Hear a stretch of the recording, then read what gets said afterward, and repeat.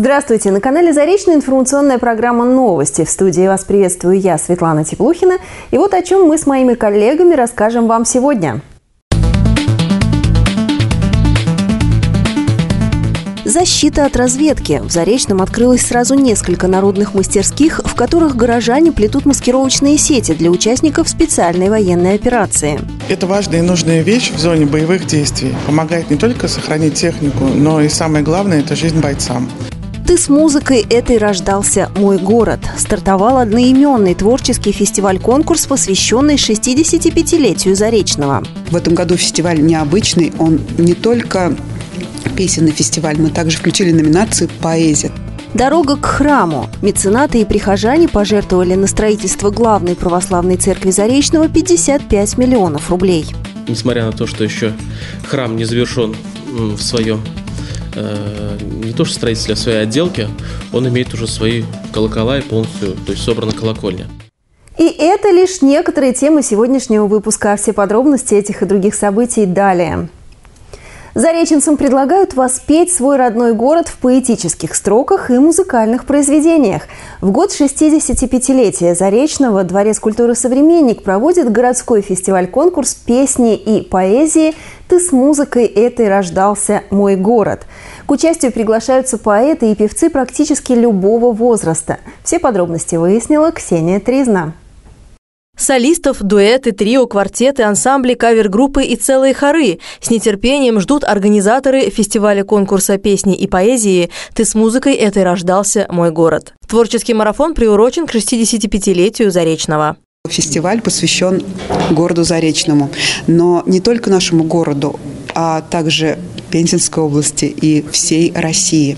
В этом году фестиваль необычный, он не только песенный фестиваль. Мы также включили номинацию «Поэзия». Все желающие могут выразить свою любовь к малой родине и всей стране в поэтических строках. Главное условие – это должны быть новые произведения, которые нигде ранее не публиковались. А вокалисты могут выступить на сцене как с уже известной композицией, так и с авторской песней, созданной специально для фестиваля. Если кто-то пишет песни, посвящает нашему городу, России, Пензенской области, также мы милости просим принять участие в нашем фестивале, который состоится 11 и 12 марта. Стать участниками фестиваля конкурса «Ты с музыкой этой рождался мой город» могут взрослые и дети, опытные артисты и начинающие исполнители. Вся информация о том, как присоединиться к творческому марафону, опубликована в официальной группе Дворца культуры «Современник» ВКонтакте. Прием заявок продлится до 1 марта. Ксения Тризна, Денис Дубицкий, телерадио, компания «Заречный». Зареченцы могут помочь областному центру завоевать звание самого узнаваемого и привлекательного города страны. Голосование за населенные пункты проходит в рамках всероссийского конкурса «Город России. Национальный выбор». В разные годы победителями становились Владивосток, Ставрополь, Смоленск, Чебоксары, Владикавказ, Магаз, Севастополь. В 2017 году рейтинг возглавила Пенза. В этом году звание города, обладающего неповторимым историческим и культурным наследием, оспаривают 87 административных центров. Пенза пока занимает 17-ю строчку рейтинга. Повлиять на результат может каждый житель региона. Для этого нужно проголосовать на сайте конкурса «Город России. Национальный выбор». В Заречном открылось сразу несколько народных мастерских, в которых горожане плетут маскировочные сети для участников специальной военной операции. Школьники, работники городских учреждений и предприятий, пожилые горожане в свободное время изготавливают специальные укрытия для военной техники и бойцов. За процессом наблюдали мои коллеги. 10 на 6,5 метров. Это пока самая большая маскировочная сеть, которую изготовили зареченцы для военнослужащих в зоне СВО.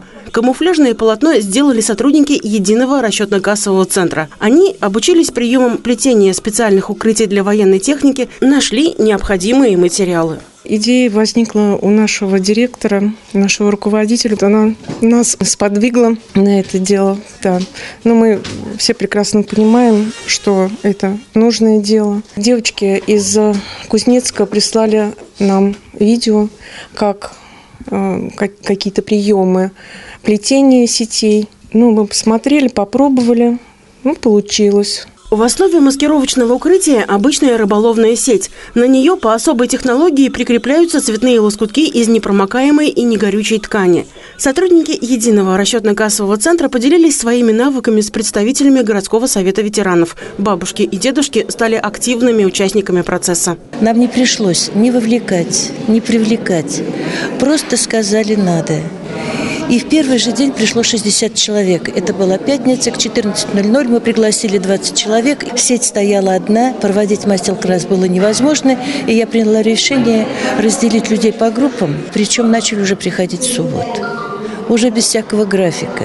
И субботу и воскресенье мы работали до 8 вечера, и люди э, шли и шли. Члены городского совета ветеранов плетут маскировочные военные сети в молодежно-досуговом центре «Ровесник». Работают в группах по 11 человек. Неравнодушным бабушкам и дедушкам помогают сотрудники городских предприятий, которые приходят в мастерскую после работы.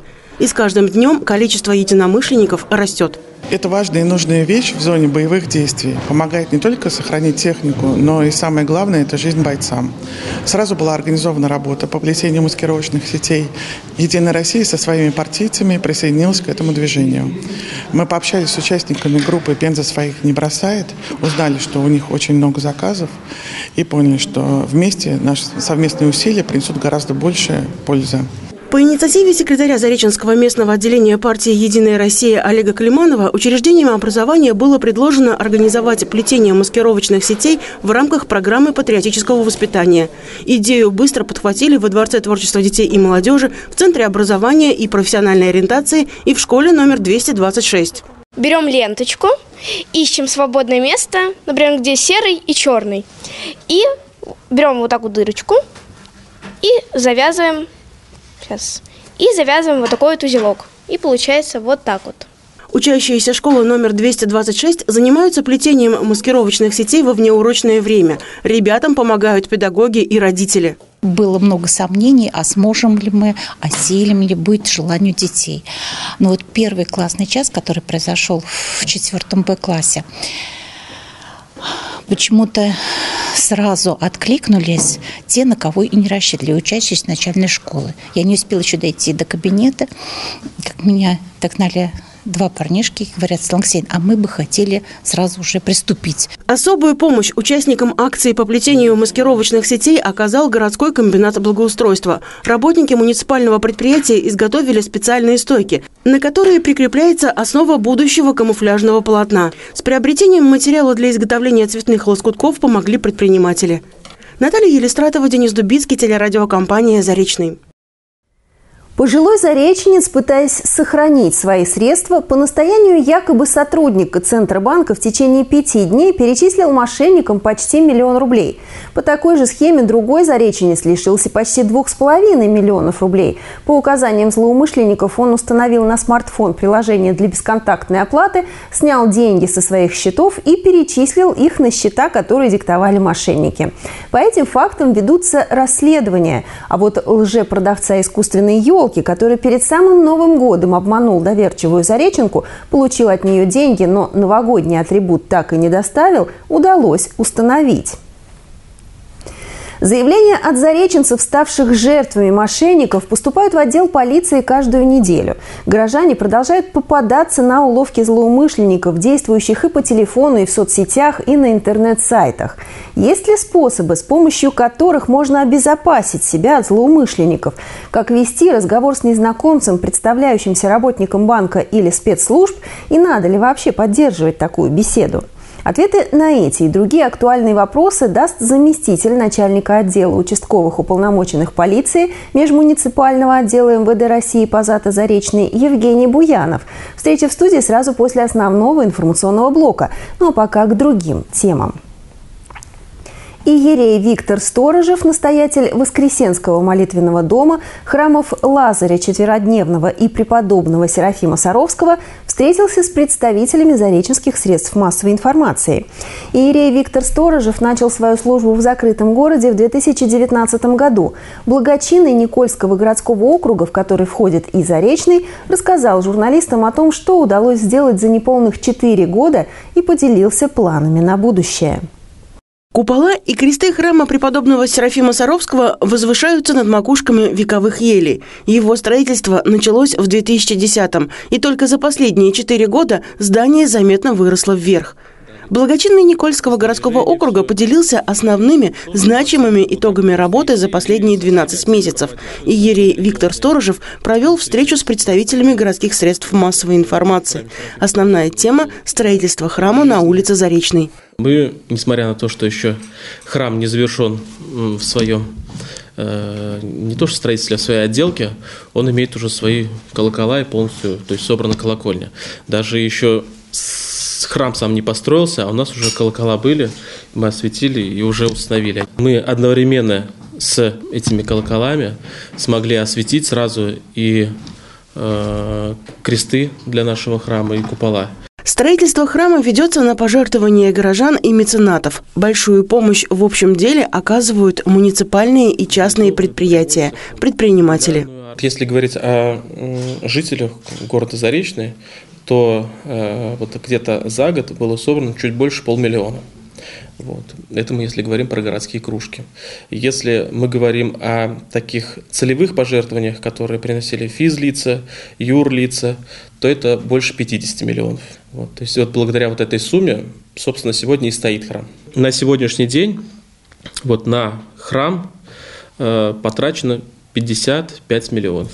Это вот с учетом того, что у нас уже больше половина иконостаса оплачена с написанными иконами, э, закуплена центральная э, люстра, так называемая паникадила. Вот.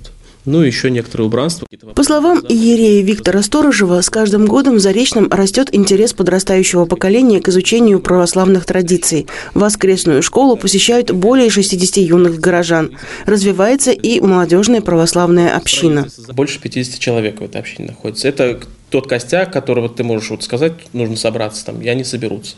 Вот. Но мы, мы понимаем, что кроме вот, вот этого костяка есть еще и те люди, которые просто, молодежь, которая ходит в храм. Но если говорится о вот этой православной молодежи нашей, то сегодня это такая многосторонняя э, действительно деятельность. Вот. Это как и миссионерство, то есть просвещение молодежи в плане церковном. Это и катехизация, то есть воцерковление и самих себя, и, э, так сказать, окружающих. И сегодня э, вот наша молодежь очень сильно окунулась в социальную деятельность. Православная молодежная община Заречного активно занимается благотворительной деятельностью. Участники сообщества посещают детские дома Пензенской области, где радуют малышей и подростков подарками и вниманием. Наталья Елистратова, Денис Дубицкий, телерадиокомпания «Заречный». И о спортивных событиях. Зареченские лыжники приняли участие в третьем этапе Кубка Пензенской области по лыжным гонкам. На лыжню вышли более 300 спортсменов. Команды из Пензы, Никольска, Каменки, Кузнецка, Заречного, Неверкина, Нижнего Ломова, а также Белинского, Бессоновского, Кузнецкого и Калышлейского районов. Зареченскую комплексную спортивную школу Олимпийского резерва представили семь воспитанников тренеров Виктора и Ольги Кириллиных. В возрастной категории мужчина на дистанции 10 километров свободным стилем первенствовал Павел Ермаков. Он же завоевал золото и на дистанции 30 километров классическим стилем. В шаге от пьедестала остановились еще трое наших спортсменов. Анастасия Андрюшечкина в категории юниорки заняла четвертое место на дистанциях 5 километров свободным стилем и 10 километров километров классическим стилем. Анастасия Малышкина на этих же дистанциях финишировала четвертой среди девушек 2005-2006 годов рождения. Руслан Орлов в категории юниора с четвертым результатом преодолел 30 километров классическим стилем. Четыре медали завоевали зареченские легкоатлеты на первенстве области по легкой атлетике среди юниоров и юниорок до 20 лет. Состязания состоялись на базе Пензенского училища Олимпийского резерва. Заречные представили 15 воспитанников спортивной школы. Бронзовую награду в беге на полторы тысячи метров завоевал Вадим Грошев. В забеге на 60 метров второе место занял Кирилл Блохин – Золото у Карины Митрофановой, показавшей лучший результат на дистанции 3 километра. В забеге на 800 метров не было равных Юрию Митрошину. В Заречном состоится второй тур полуфинального раунда первенства России среди команд детско-юношеской баскетбольной лиги. Игры пройдут с 10 по 15 февраля в физкультурно-оздоровительном комплексе «Лесной». За победу в этом туре поборются шесть команд. Представители Санкт-Петербурга, Великого Новгорода, Новосибирска, Томской области, Ханты-Мансийского автономного округа и Заречного. Наш город представит команда «Союз». Первая игра в рамках турнира состоится 10 февраля в 14 часов. На площадку выйдут баскетболисты из Великого Новгорода и Ханты-Мансийского автономного округа. В этот же день зареченская команда «Союз» встретится с представителями Томской области, сборной «Универсал ЦСП». Начало матча в 18.30. Как не стать жертвами злоумышленников, как не поддаться на уловки мошенников и как сохранить собственные средства? Ответы на эти актуальные вопросы даст наш гость сразу после рекламы.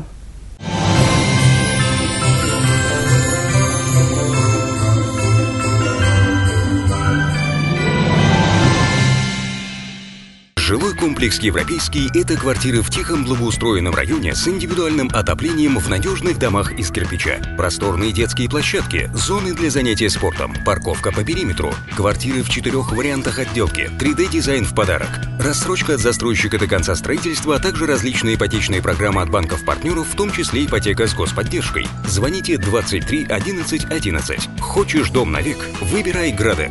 Специализированный застройщик «Градек». Проектная декларация размещена на сайте наш.дом.рф. Успокоился, Мишка. Поворот лежит. Ну что ранил, а? Я ему глаза закрывал. А ты приезжай, солдатик, к нам, в Антонево. У меня дочка выросла. Невестой тебе будет. И деревня тут у нас, она чистая, веселая. А знаешь, кто это?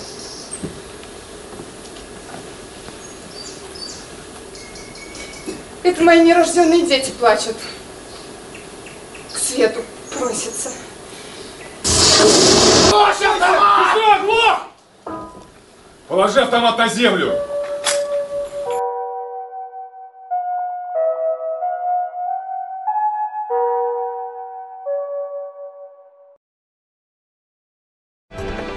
День российской науки в Росатоме. Строительство исследовательского реактора МБИР. Сварка главного циркуляционного трубопровода на Бенгальской АЭС Руппур. Смотрите в среду в 20.00.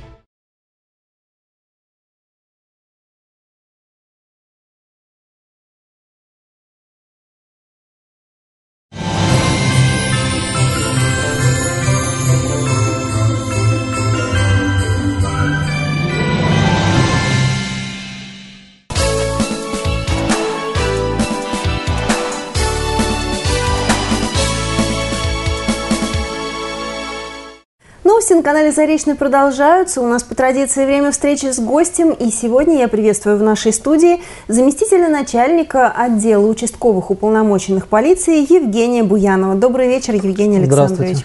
Итак, Евгений Александрович, наступил Новый год и Прошел уже целый месяц Нового года, и этот месяц, к сожалению, тоже, наверное, принес неутешительную статистику в плане обмана доверчивых граждан мошенниками. Да, безусловно, случаи мошенничества были зарегистрированы на территории обслуживания нашего отдела. Ну, что хочется отметить, что по сравнению с прошлым, с январем прошлого угу. года, наблюдаем некоторое снижение случаев мошенничества. Если у нас в январе 2022 года было зарегистрировано 10 сообщений угу. о мошенничестве, то за январь этого года то всего 4. То есть мы видим, угу. что граждане стали наиболее грамотными, угу. благодаря, может быть, и нам, вашим угу. передачам что? более внимательными более внимательно, и более да. бдительными.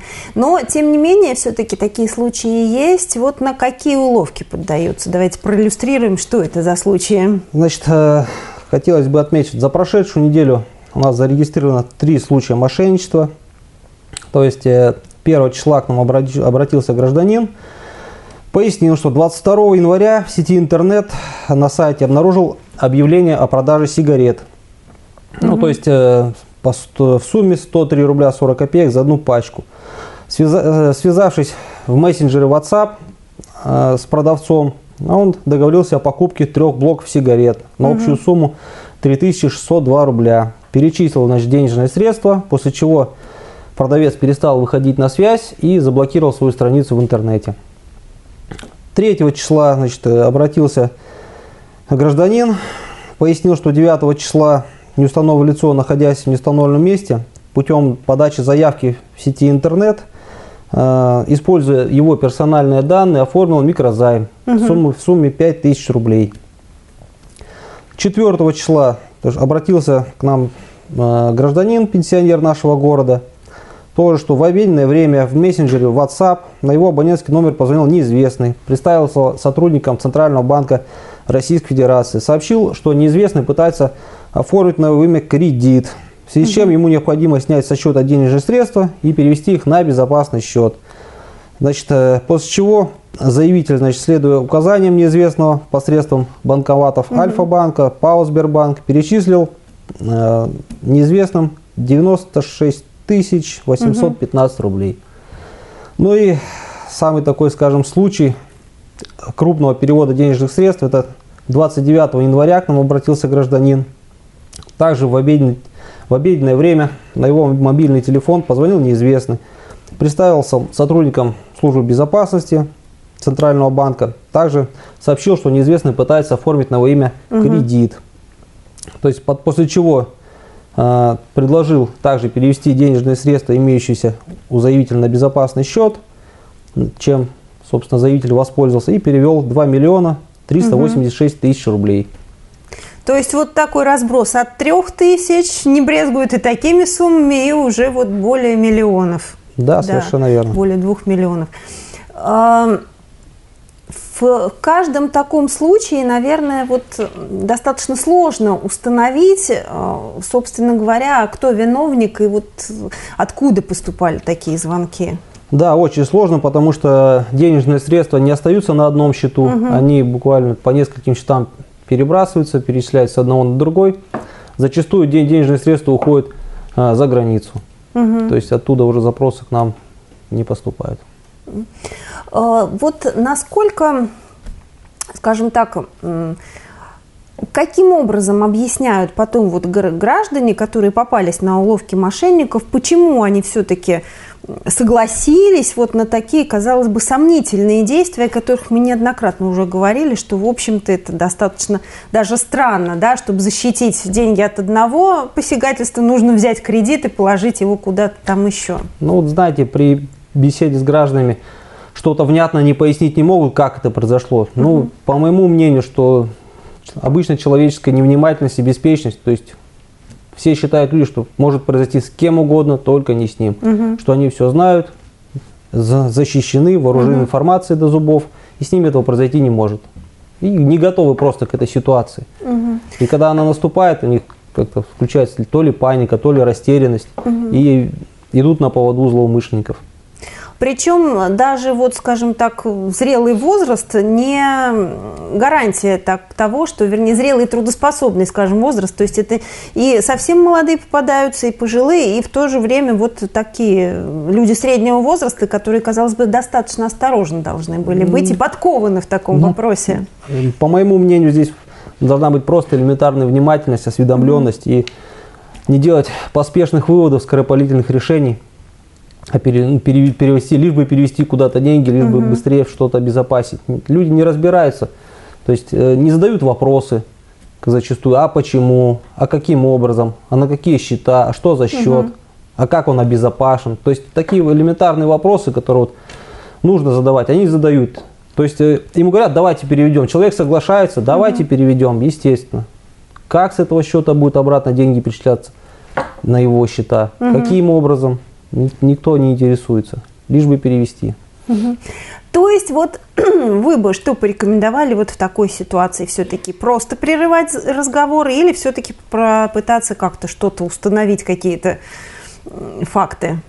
Ну, я бы посоветовал прервать разговор, Мгм. потому что никто из банковских, из банковских работников, сотрудников банка никогда не будет консультировать по телефону. Мгм. Вас попросят э, при, прибыть в ближайший офис банка с паспортом, где уже непосредственно сотрудник будет с вами общаться и разбираться, как, что произошло, Мгм. и искать пути решения. Ну и, соответственно, и прочие сотрудники, скажем, каких-то правоохранительных органов тоже не будут звонить и просить какие-то сведения. Совершенно да. верно, да. Пригласят вас Мгм. либо в отдел полиции, если это сотрудник полиции, Мгм.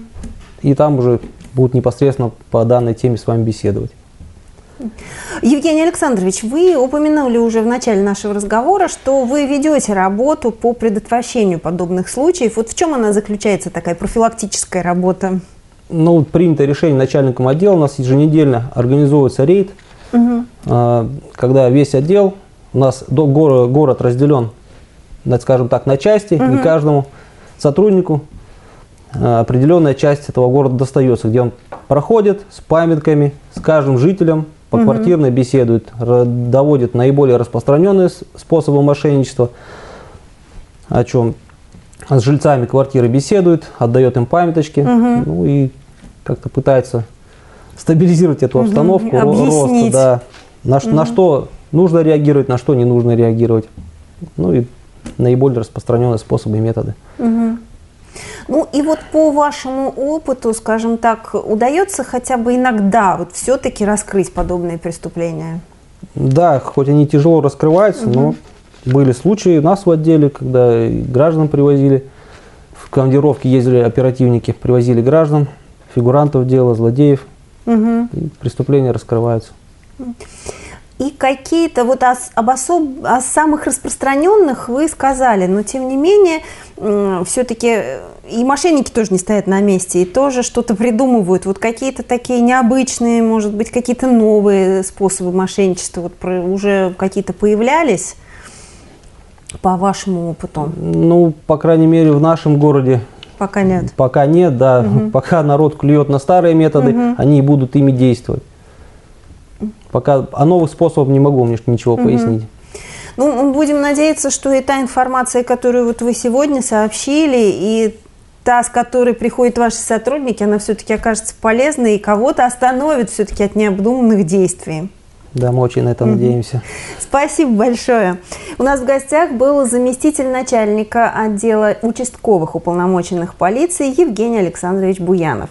На этом я с вами прощаюсь. Спасибо, что были с нами. До встречи на родном канале Заречный. Будьте внимательны, берегите себя и своих близких.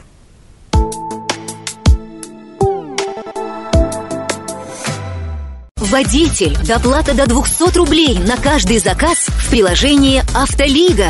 Успей скачать на Google Play приложение «Автолига. Водитель».